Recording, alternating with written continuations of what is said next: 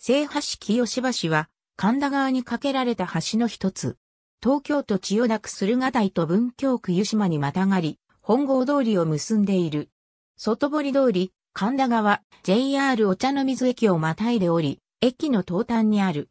全長79.3メートルのうち、神田川の上部の36.3メートルが放物線を描くアーチ橋で、形式は鉄筋コンクリートアーチ橋。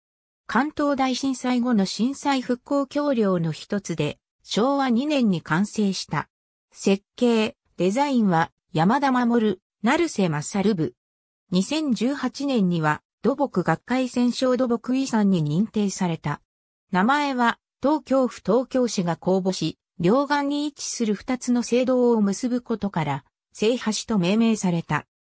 橋は船から見上げた時に最も美しく見えるようにデザインされており、お茶の水駅のホームからは、ややそれに近い視点で見ることができる。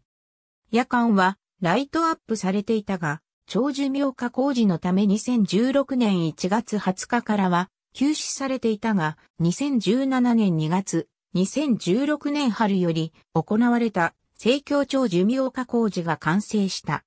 橋の躯体表面を覆っている保護コンクリートを剥がし、躯体に入った亀裂を補修し、新たな保護コンクリートで覆った。夜間のライトアップ用照明設備も新規に取り付けられた。